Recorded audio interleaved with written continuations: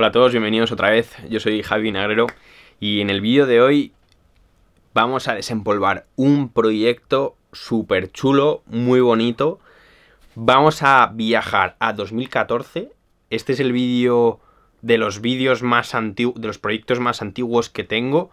Este sí llegó a ver la luz, pero como siempre, pues bueno, allí, se quedó en, la nada. Luego lo, lo, quité porque por problemas de derechos de autor de las músicas no, no podía, no podía tenerlo público. Pero, pero hoy lo traigo distinto, le he quitado algunas partes en las que, bueno, os ahorro tiempo mío hablando, explicando el proyecto en aquel momento, pero porque no lo puedo poner, porque la música, cuando yo hablaba, la dejé por debajo, entonces tengo que quitarlo, pero bueno, eh, no es material importante de lo que mm, el proyecto significa o del de lo que el, en lo que el, de lo que el proyecto consiste, ¿no? Eh, esta vez eh, nos transportamos, pues eso, como os he dicho, a 2014, hace seis años, a una, eh, diría yo, una experiencia que recomiendo a, los jóvenes mm, de secundaria y bachillerato. Es un, es un evento que, se hace en la juventud de, de Schoenstatt, en, en los pioneros, y, este, bueno, luego os cuento por qué a este le tengo mucho cariño, pero el, kit de esta cuestión es que em, es un evento que consiste en, a mediados de diciembre, ya eh, casi cercanos a la Navidad, consisten en, en que los jóvenes vamos a, un comedor social en Móstoles y, y, les vamos, eh, por un lado se hacen dos actividades, ¿no? se hace lo que son las cajas y lo que es la, actividad dentro del, del, del,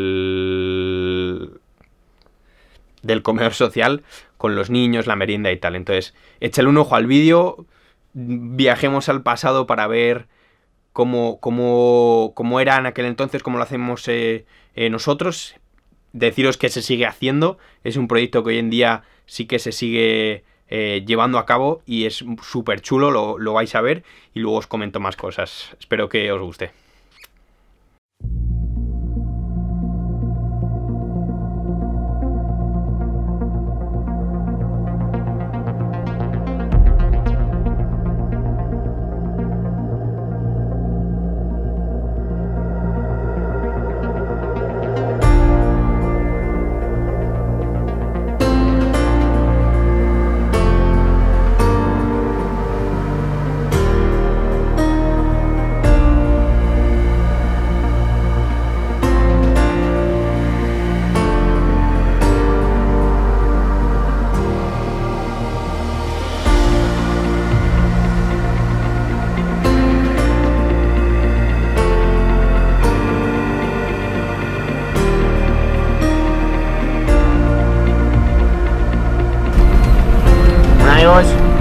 Llegando al comedor social, estamos por aquí, vamos a meter el, camión de culo y poco más, os espera un gran día, vamos a descargar ahora. de culo o...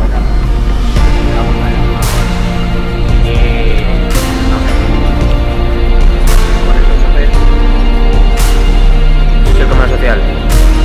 Pues a Simón.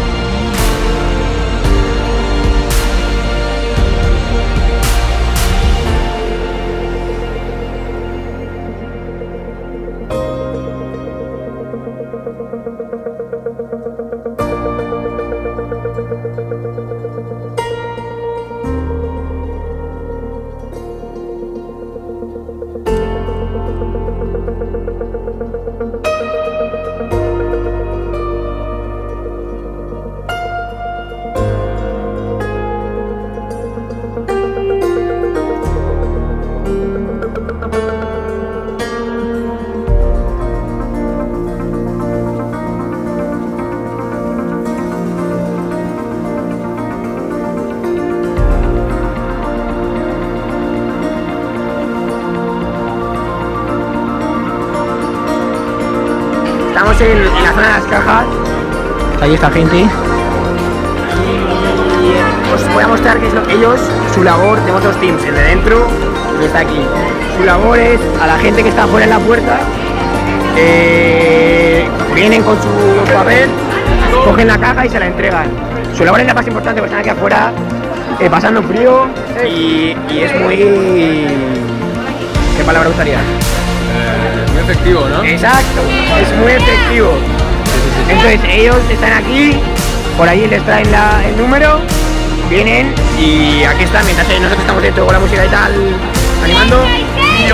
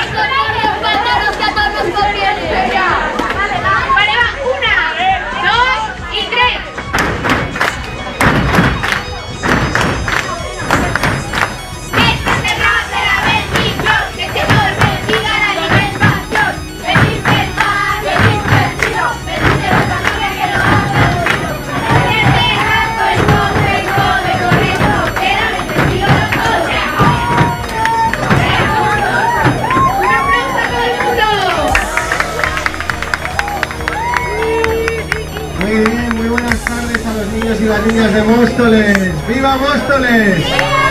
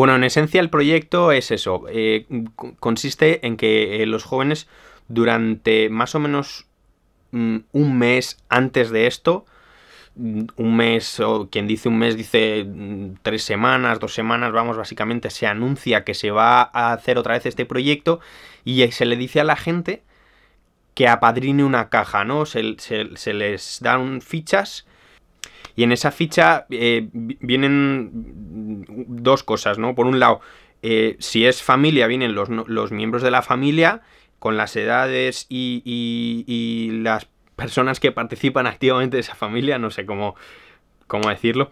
Y, y si, si es individual, eh, mm, pues a la persona a la que va. Y sobre todo nos dejan muy claro si hay algún tipo de, limitación eh, gastronómica, ya sea por alergias o incluso por religión, por las personas musulmanes, por ejemplo, pues eh, se tiene en cuenta a la hora de hacer la compra, ¿no? Entonces lo que consiste es en que la ficha tú haces una compra de Navidad en la que se te aporta una lista orientativa para que tú traigas lo que quieras eh, meter.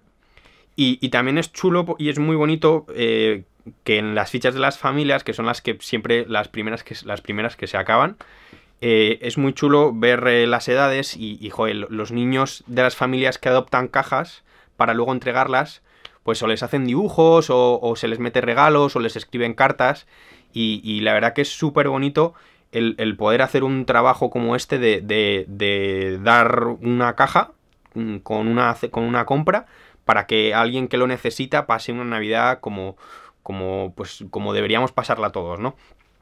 Y, y- es un proyecto muy chulo porque mm, lo que es eh, durante el día se, se hacen, pues eso, los dos, las dos partes, ¿no? Por un lado tenemos el equipo de cajas, que como habéis visto, y como lo explica el Vina de hace seis años, que consiste en, en la gente, pues en, en ir haciendo mm, turnos para, para llevar las cajas, ¿no? Con las fichas.